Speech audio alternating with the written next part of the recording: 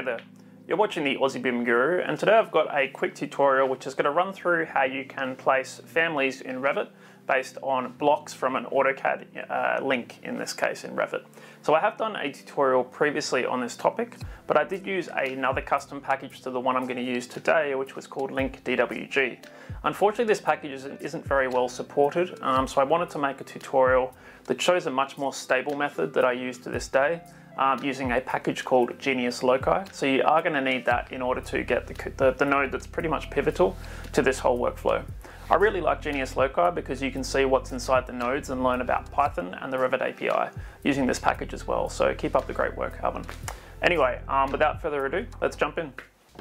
So in this case, um, for an example, we're going to be using a AutoCAD file. Um, what I've done is set up some blocks, applied rotations to them, and just created a few different types. So in this case, I have two block definitions. Um, I have a 1000 by 1000 box, and I also have a 1000 by 2000 box. It's really important to note that the origin has been intentionally placed at the bottom left corner.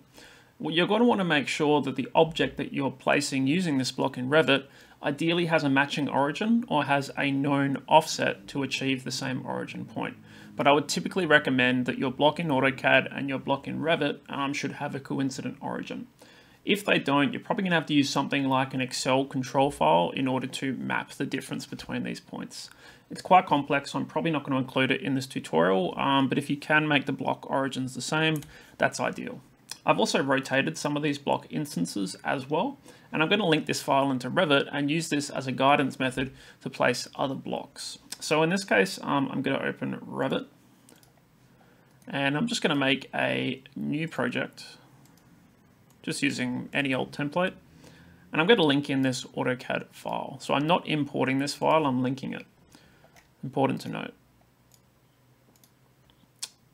And in this case, the units are the same, so it's just a millimeters based file. So what I have now is a CAD file. Now I can't place families just yet.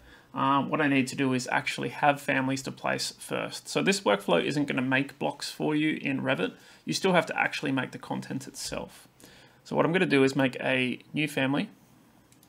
And I'm just going to make a generic model. And I'm just making a box to the same dimensions and origin as the CAD block. So in this case, this is my origin plane. And so I'm going to create a right and a front plane. I'm going to create two dimensions and create parameters. I'm going to make them type-based parameters. I'm going to call them width and depth. And I'm going to place a 3D extrusion and constrain it to those reference planes. And I'll just give it a nominal height for now, just a thousand. What I'm going to do is create two family types, um, but what I'm going to do is actually make their type name the same as the block name in AutoCAD. That way we can retrieve this family type using the equivalent block name. Again, if your blocks and your families don't have the same names, you are going to have to use something like Excel to build a mapping file to match those two sets of elements when you read them between the AutoCAD file and the Revit environment. Um, but for now, I'm going to rely on the fact that they are the same name. So what I'm going to do is create two types. I'm going to call one 1000 by 1000. Make it a 1 by 1 cube. And I'm going to make 1000 by 2000. I'm going to make this one 2000 deep. So this is effectively the element that's going to be placed at each block's location. So I'm just going to save this family. Just I'll just call this testing. Load it into my project. And of course I can go and place these manually at each uh, import object. What I'm going to do is just set my import to halftone so we can really see when the family is placed in this position just going to delete a few elevations that are in my way. And we're now going to use Dynamo to place uh, in, uh, families at these block locations. So I'm going to open up Dynamo. I'm going to use a special node from the Genius Loci package, uh, which can read block import instances. It's written in Python, so you can see the code if you want to. Um, it is quite complicated, but if you're interested, um, the great thing about the Genius Loci package is that you can see all the code that the uh, developer Alvin uh, writes. So we're going to begin just by looking for CAD block, and we're looking for the CAD block node from Genius Loci.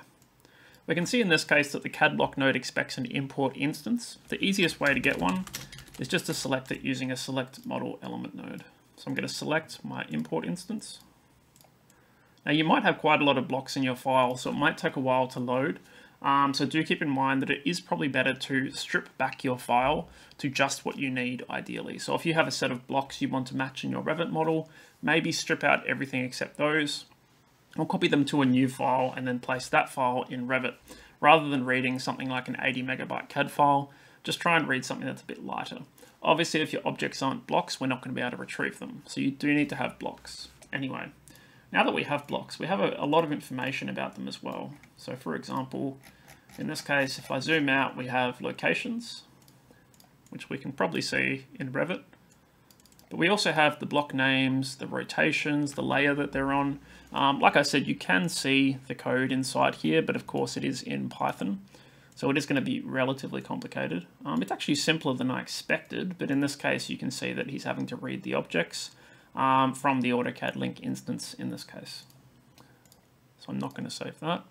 Um, what we're going to do now is use the block names. Now, if you did have more blocks than what you wanted, you could use a filter in order to break out just the blocks that you care about. But in this case, I'm going to place a family for every single block. So in this case, um, I'm going to firstly be looking for the family instance, and so family type by type name and family name. So I'm going to go to elements and I'm looking for family type by family name and type name. Now I know my family is called testing, so I'm just going to make a testing string for the family name, and then I'm going to retrieve the type names by the block names. And because they match, I now have a equivalent family type for that block in AutoCAD. So that's the importance of having matching names. Again, if you don't have matching names, you're going to need to find a way to sort of retrieve a matching index, probably using something like an Excel file. Okay, so at that point, we now also have a placement point, and we also have a rotation factor. Now in this case, we're going to have to reverse the rotation because we're rotating the block in the opposite direction. Um, that's just a quirk that I've found. So what I'm going to do is multiply this by negative 1. So I'm taking my rotation times negative 1. And what we need to do now is place our block, and then we're going to rotate it after. So in this case, we need to place a family instance um, by point. Um, now we can do by point or by point and level. I prefer by point and level because then the family is associated to a level as well. So what I'm going to do is switch to manual mode. I'm going to get my family type. I'm going to get, uh, in this case, my origin point. And I'm also going to get a level dropdown so that I can select the levels that I want those elements to be hosted at.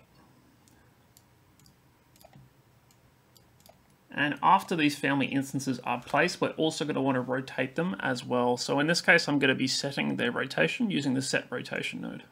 So I'm going to take that family instance and rotate it after it's placed by that factor. And this is pretty much the script done. It's a very short script.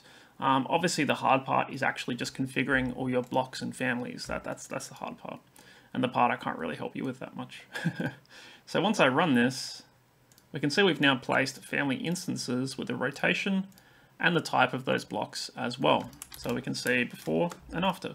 Um, so we've effectively used uh, a method in order to read the blocks from the CAD file without actually having to open AutoCAD as well, um, read their location and their rotation, and place equivalent families. Um, so I hope that that's quite useful. There are lots of other ways you could use this method. For example, if you were doing ceiling-based fixtures, you could, you could always intersect the location of that fixture with the nearest ceiling above it to find a host for it.